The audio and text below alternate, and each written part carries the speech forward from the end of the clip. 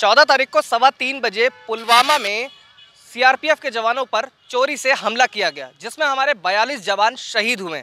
पूरा देश जवानों की शहादत का बदला भी चाहता है। भारत सरकार ने अलगाववादी नेताओं की सिक्योरिटी हटा दी और पाकिस्तान पर 200 परसेंट निर्यात टैक्स भी लगा दिया है। कई बार अमूमन ऐसा देखा गया, ऐसे हमलों के बाद हम क्रिकेट खेलना बंद कर देते हैं, बॉलीवुड में एंट्रीज बंद करा देते हैं। पर क्या ये परमानेंट सॉल्यूशन है? क्या इससे आतंकवाद जड़ से खत्म हो जाएगा? हमारे साथ कुछ लोग मौजूद हैं उनसे हम बात करते हैं कि उनका क्या कहना है? क्या होनी चाहिए रणनीति आगे की भारत की?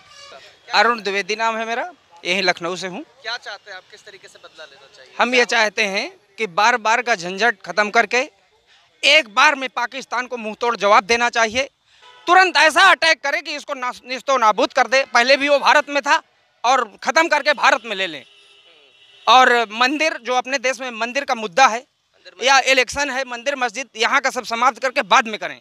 लेकिन पहले ये करना चाहिए पाकिस्तान को ख़त्म कर दे अपना देश सुरक्षित हो इसके बाद और काम होते रहेंगे। मैं चाहता हूँ सबसे पहले अपना कश्मीर साफ़ कर लिया जाए। वहाँ जो भी पत्थरबाज हैं उनको सीधे मार दिया जाए। कोई मुकदमा नहीं कोई केस नहीं। डायरेक्ट उनको मार दिया जाए। ये हमला पहली बार तो नहीं हुआ है। हमले तो हमेशा से होते आ रहे हैं। दिक्कत इस बात की है कि कड़ी निंदा की बात की जाती है कि कड़ी निंदा की गई है। हम लोग जवाब मांगेंगे। ऐसा कुछ होने वाला नहीं है। उन्हें तलब करने से भी कोई फ़ायदा निकलने वाला है नहीं। सीधे सीधे आर और पार की लड़ाई हमें चाहिए। बातों से देश नहीं चलने वाला है। पहले कुछ करके दिखाना पड़ेगा इनको। आज भारत ने अपने भारतीय रक्षों को खोया है। ठीक, आप उन माताओं से पूछिए जिन्होंने अपने लाल को खोया है। ठीक है, उनकी क्या राय है इस मामले में? मैं तो एक व्यापारी हूँ, मैं एक इंसान हूँ, लेकिन जहाँ तक बात आती है आतंकवादियों के खिलाफ तो पूरा भारत देश जितनी राजनीतिक पार्टियाँ वो सब एकजुट होकर सिर्फ़ आतंकवादियों के खिलाफ मुहिम चलाए। ना हमें राफेल डील चाहिए, ना हमें पब्लिक, ना अयोध्या मंदिर चाहिए। सिर्फ़ चालीस के बदले चार सौ सिर चाहिए, और वो भी आतंकवादियों के। और कुछ नहीं कहना चाहता इस समय।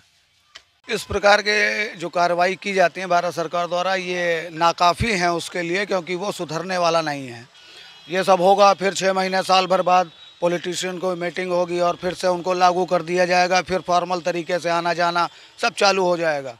ये नौटंकियाँ अब सरकार को बंद कर देनी चाहिए और सभी विपक्षियों को एक सुर में सेना के साथ आकर उनका मनोबल बढ़ाते हुए पाकिस्तान को उसी की भाषा में मुँह तोड़ जवाब देना चाहिए, क्योंकि जो कहा गया है कि लातों के भूत बातों से नहीं मानने वाले तो अब उनको लातों की ज़रूरत है और भारत की सेना इतनी मज़बूत लातें रखती है कि वो उनको प्रदान कर सकती है। तो कहना है लोगों में बहुत गुस्सा है।